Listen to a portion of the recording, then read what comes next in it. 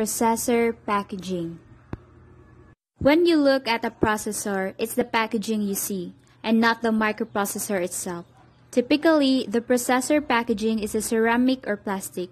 They all boil down to a packaging style that is mounted perpendicular to the motherboard into a single slot, much like expansion, cards, and memory. Packaging is the process of connecting a microprocessor with a computer motherboard. So, mao ni ang naong sa ato motherboard. The motherboard is the main circuit board of your computer and is also known as the main board or logic board. Microprocessor. It is a small chip that resides in computers and other electronic devices. It is also the central unit of computer system that performs arithmetic and logic operations, which generally include adding, subtracting, transferring number from one area to another, and comparing two numbers. It's often known simply as a processor, a central processing unit, or as a logic chip.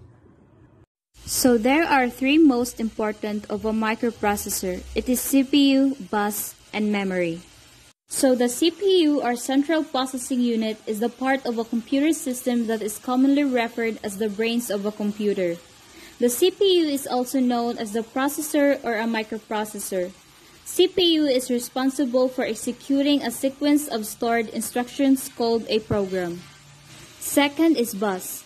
Buses are used to send control signals and data between the processor and the other components. And the third one is memory.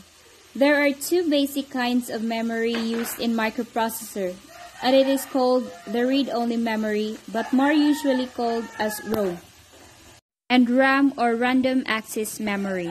There are four kinds of microprocessor. These are dual-core processor, quad-core processor, octa-core processor, and lastly, the hexa-core processor. The dual-core processor is designed for users who frequently multitask or who use multi-threaded applications. And it is good enough to get most things done with reasonable speed.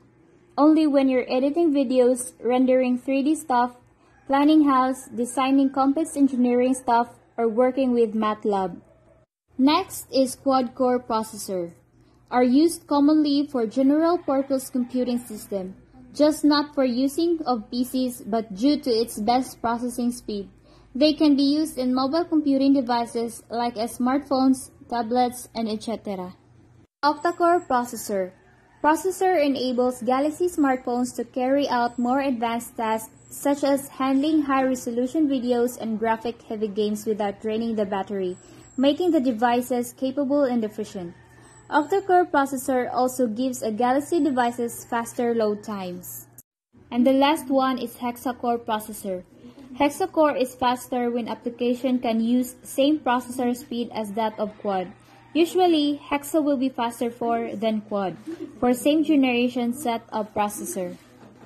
So there are five types of general purpose processors. These are microcontroller, microprocessor, embedded processor, DSP or digital signal processing, and the last one is media processor.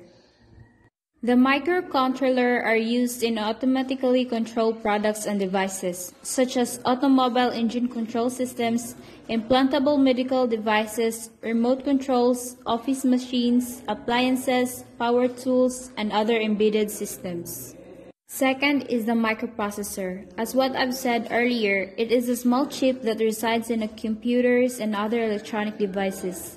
It's often known as simply as a processor, a central processing unit, or as a logic chip. Next is embedded processor. Embedded processor helps to control aircraft and industrial automation. They are common in automobiles and in both large and small household appliances. DSP or digital signal processing is used primarily in areas of auto signals, speech processing, radar, seismology, audio sonar, voice recognition, and some financial signals. And the last one is media processor.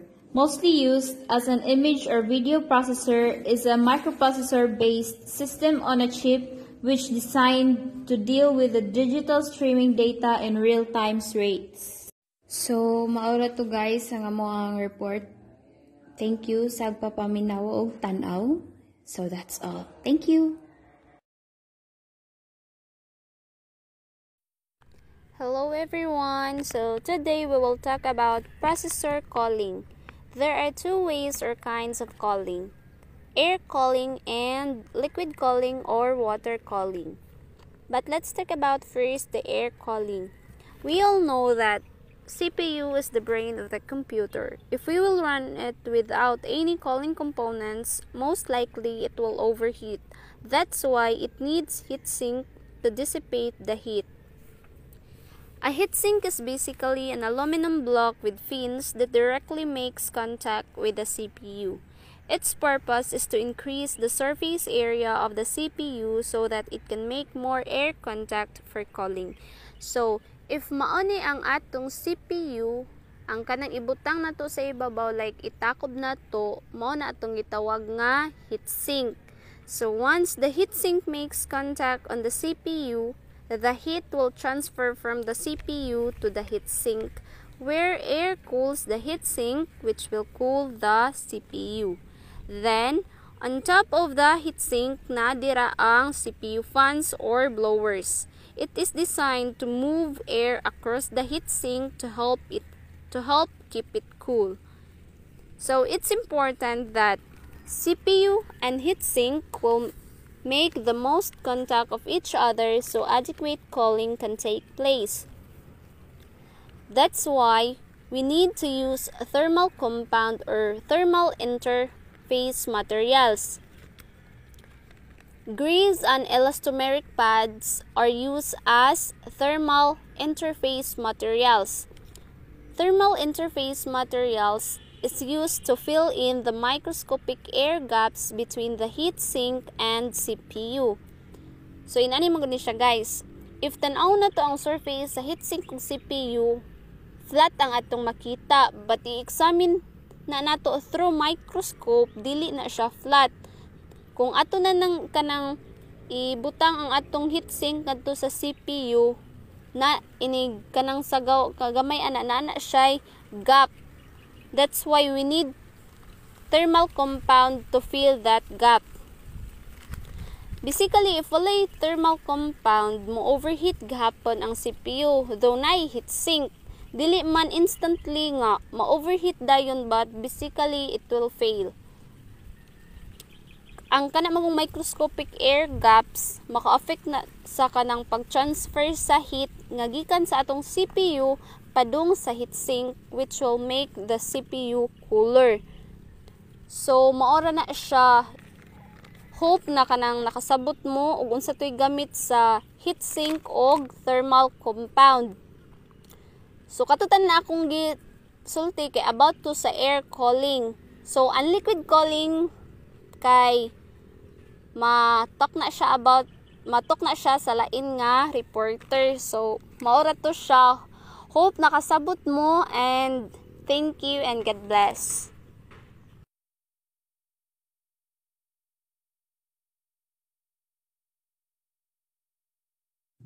What is liquid cooling? Liquid or water cooling is a method of heat removal from electrical components. As opposed to air cooling, water is used as the heat conductor. So it means usually liquid cooling is used to balance the heat. Let's go to the history part of liquid cooling.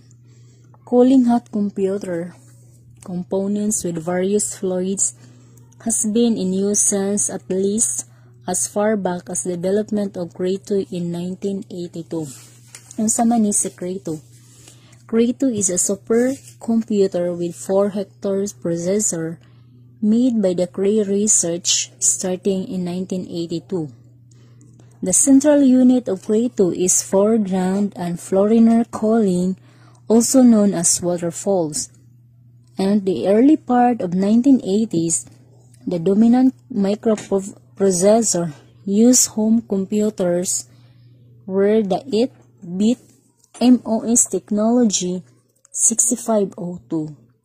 Through the, through the 1990s, water cooling for home PCs slowly gained. Con. What is con? CONT stands for Computer-Oriented Numerical Technique. As of 2011, there are several manufacturers of water cooling components and kits, and some custom computer retailers include various sets up of water cooling for their high performance system.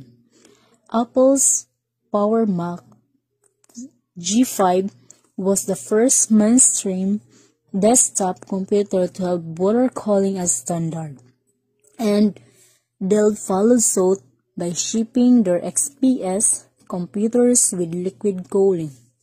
There are eight components of cone. For one, radiator pump. Radiator pump is a coolant pump is a type of pump used to recirculate a coolant.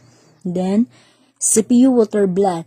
CPU water block is the water cooling equivalent of a heat sink, including central processing unit or CPU. GPU or graphics processing unit and PPU physics processing unit and VGA water block. What is VGA stands for? VGA stands for Video Graphic Array. The most common issue hardcore PC games is you GPU or graphic processing unit overheating. And then flow indicator. A flow indicator meter works by measuring the amount of liquid.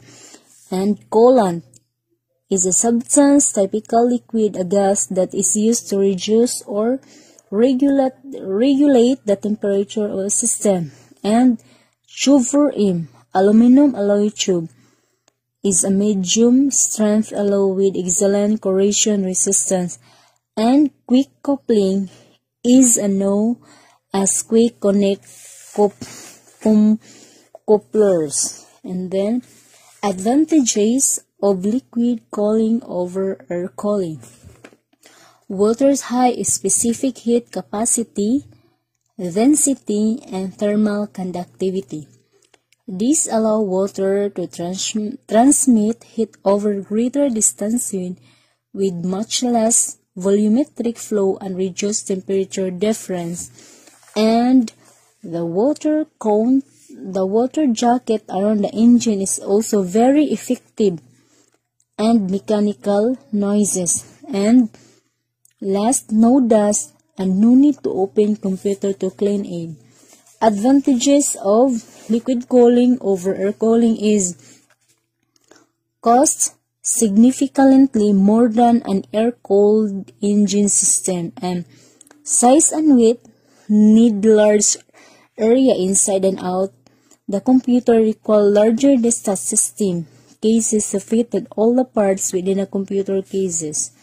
And the uses of usage of liquid cooling or water cooling is water cooling can be used to cool mini computer components, especially the CPU, GPU, north bridges, south bridges, hard disk drives, memory, voltage regulator modules, and power supply can be watered cold. And the last, liquid versus air cooling. Liquid cost high versus air low. Size, liquid big, air small.